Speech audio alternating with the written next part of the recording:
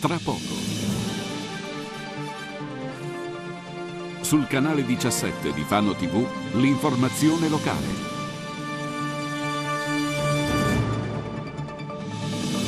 Grave incidente sulla statale 16, frontale tra due auto, un settantenne portato ad Ancona, il punto è sempre lo stesso all'altezza di Metaurilia.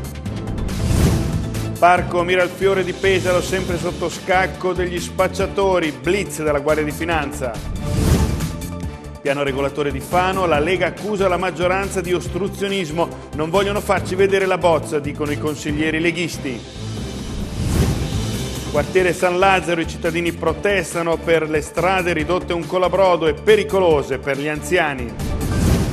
Gastroenterologia Marche Nord, nuovi macchinari a disposizione del reparto, frutto di una donazione privata.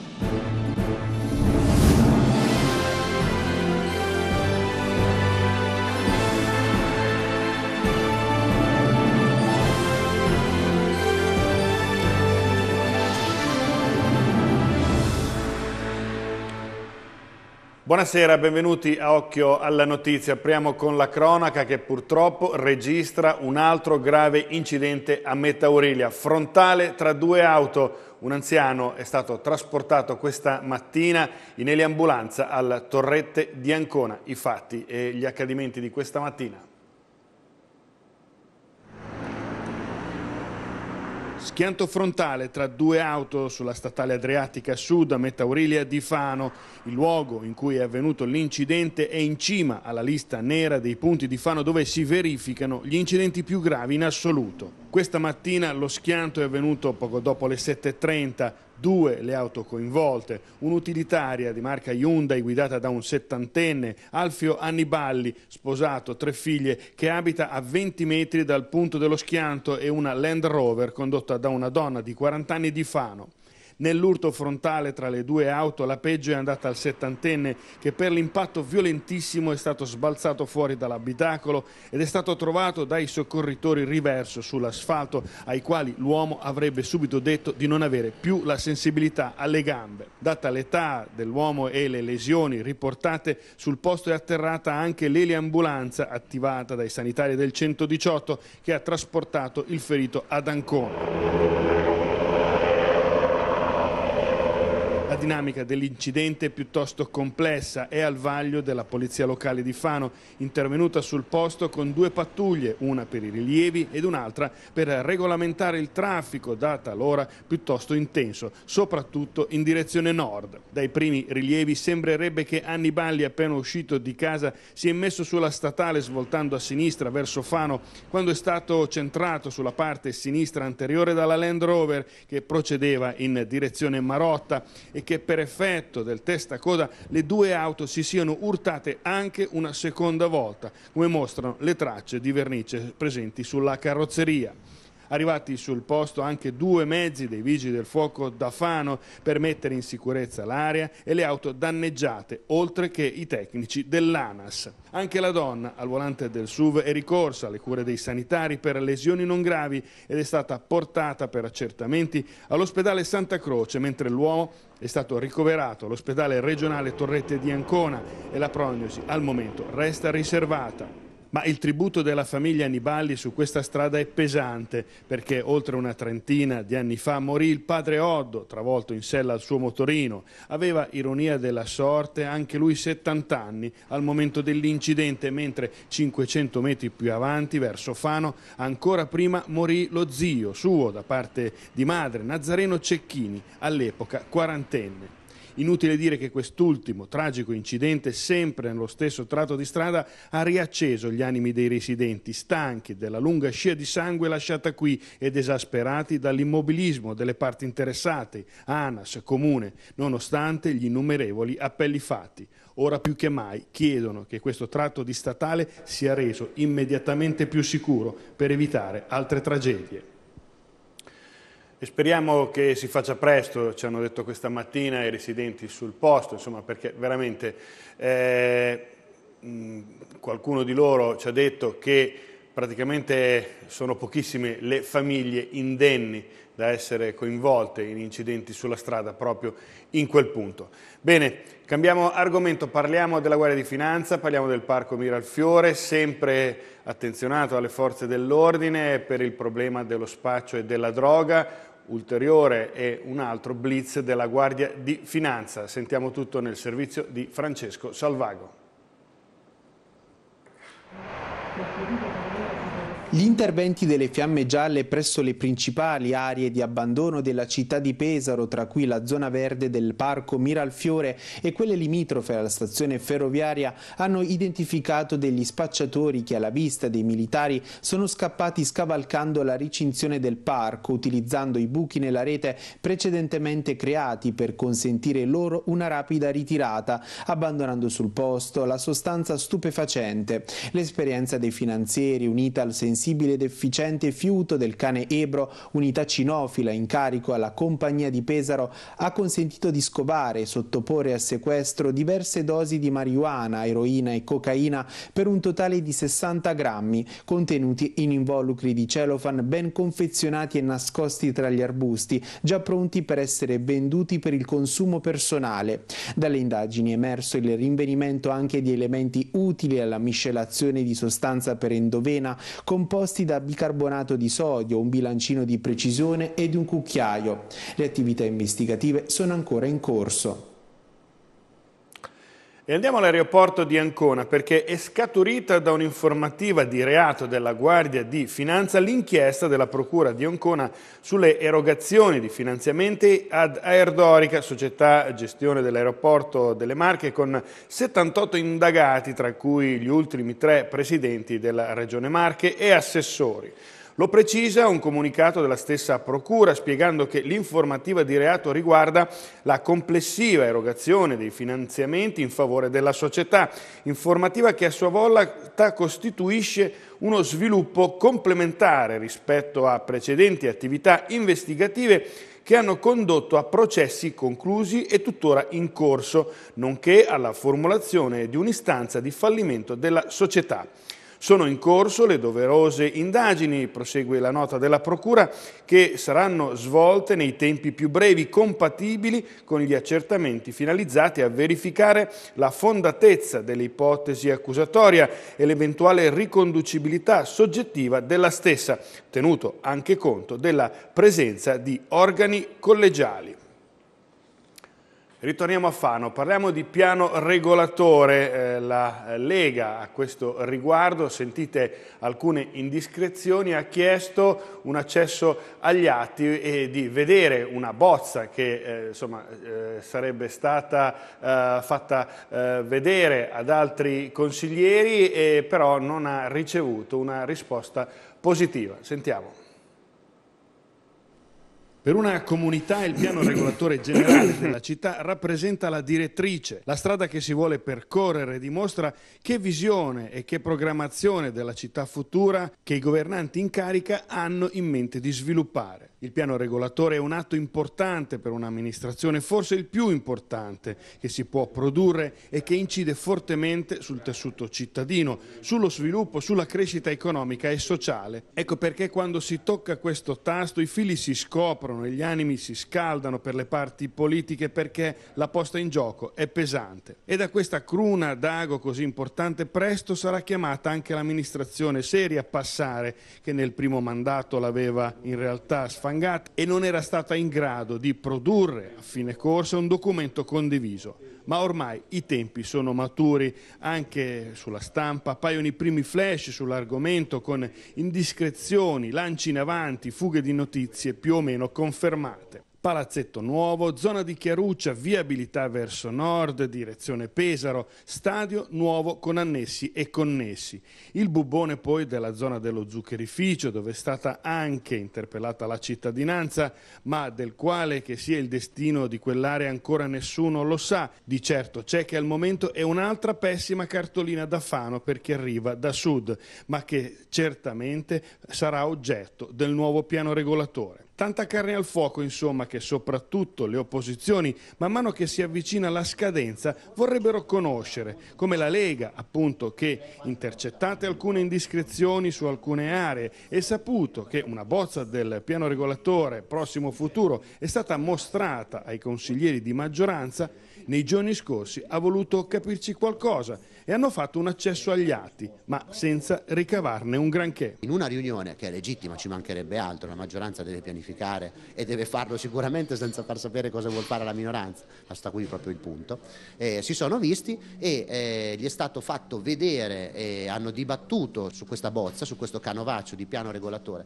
E parrebbe anche che per, per motivi eh, che per noi sono ignoti solo per, per, qualche virgola non gli sia stato consegnato, perché c'era proprio l'idea di renderlo, di renderlo pubblico pubblico, quindi eh, alcuni consiglieri comunali sanno di che cosa si sta parlando sui giornali e qual è l'idea che, la che, che l'amministrazione ha della città. Alcuni consiglieri, i più sfortunati, quelli di, di minoranza, purtroppo non sono messi nelle condizioni di, di, ricevere gli stessi documenti. Ci sono dei punti che sono trappelati che eventualmente non, non vi piacciono, non vi stanno bene?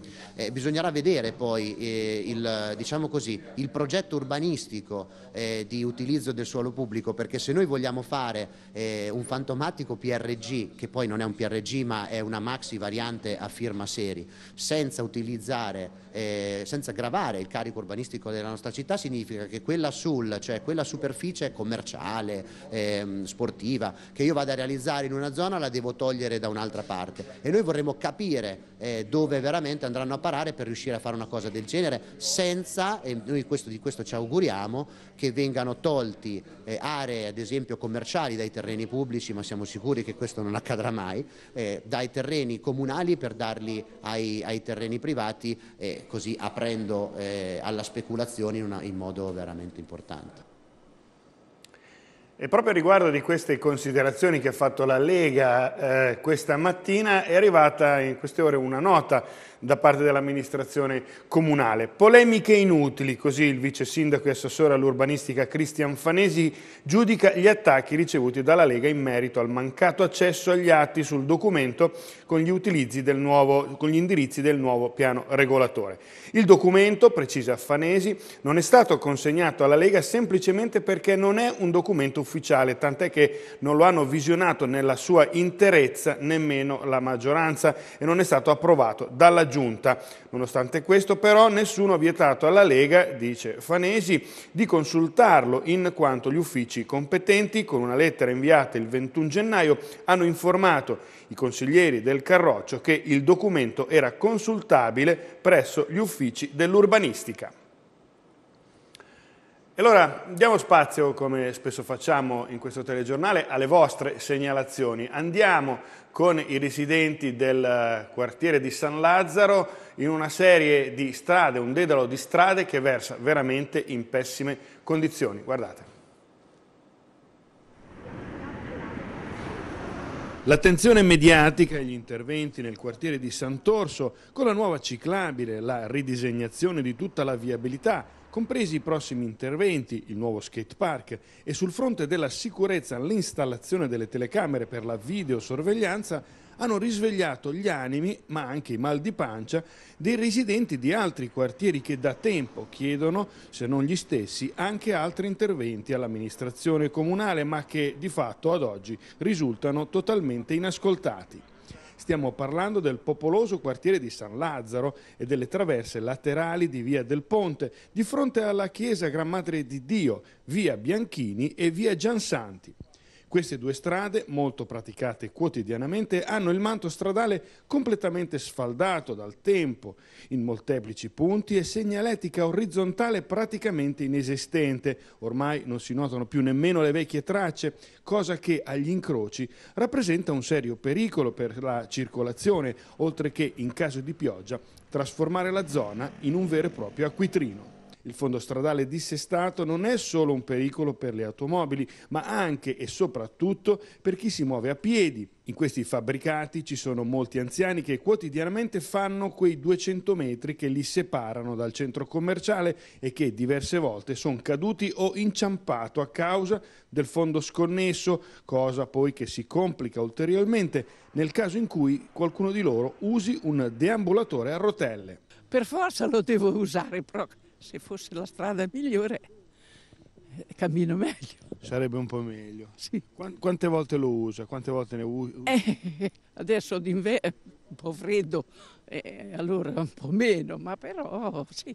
Per andare in chiesa, al supermercato. Sì, sì, sì, sì. Fa un po' fatica. Eh, sì, perché va tutto tutto storto perché trova tutte le buche. Ma oltre a questo annoso problema, i cittadini vorrebbero che un ampio spazio verde, un tempo campetto da calcio frequentatissimo presente nel quartiere, fosse riconvertito e riqualificato a spazio pubblico per possessori di cani, con uno sgambatoio recintato, magari come avvenuto a Fano 2, e dotato di strutture per tutti, e sul fronte della sicurezza di un impianto di illuminazione per scoraggiare, per così dire, i malintenzionati abbandonati. Ci piacerebbe che eh, venisse sistemato mettendo del, dei cancelli e sistemando anche laggiù una rete, quindi mettere praticamente dei giochi per bimbi, delle panchine magari, anche perché poi con eh, l'arrivo della, della buona stagione praticamente potrebbe essere uno spazio eh, usufruibile da, da tutti.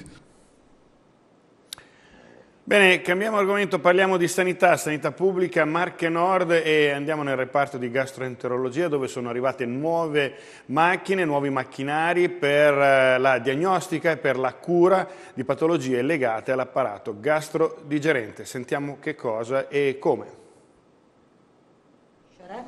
Questo strumento permette di studiare direttamente la mucosa. Il reparto di gastroenterologia dell'azienda ospedaliera Marche Nord si arricchisce di nuovi sistemi avanzati per la diagnosi e la cura di patologie che colpiscono gli organi dell'apparato digerente. Grazie a Riviera Banca, credito cooperativo di Rimini e Gradara, l'azienda ospedaliera ha acquisito apparecchiature diagnostico-terapeutiche composte da un enteroscopio, un ecografo per endoscopia, un elettrobisturi ed un un manometro ad alta risoluzione. Secondo il direttore dell'unità operativa del reparto Antonella Scarcelli, i vantaggi per il paziente con l'utilizzo dei nuovi sistemi saranno notevoli in quanto si andrà ad agevolare la fase della diagnosi. Sarà possibile, dice, esplorare direttamente l'organo senza la necessità di intervenire chirurgicamente sul paziente con la possibilità di diagnosticare e curare patologie come i sanguinamenti, la poliposi, i tumori del piccolo intestino intestino, malattie infiammatorie e la celiachia complicata. Gli strumenti sono già disponibili e in uso per i pazienti. Nel 2019 hai seguito 814 ricoveri, quindi era gente che prima andava fuori e eh, come prestazioni di endoscopia digestiva, penso che eh, non siamo indietro a nessuno, hai eseguito praticamente quasi 14.000 prestazioni. Soddisfatto il presidente della Regione Marche per l'importante contributo che in questi anni le aziende hanno potuto investire in nuove tecnologie. Il governatore ha sottolineato l'importanza delle donazioni che vanno a completare gli investimenti pubblici. Orgoglioso anche il presidente di Riviera Banca di contribuire al sistema sanitario regionale. È stato un lavoro abbastanza difficile, durato, abbiamo lavorato quasi due anni, però ci siamo riusciti con grossa soddisfazione perché effettivamente un macchinario che serviva alla città di Pesaro e a, a tutti i cittadini. E questo dimostra ancora una volta la nostra sensibilità verso quello che è la, il territorio.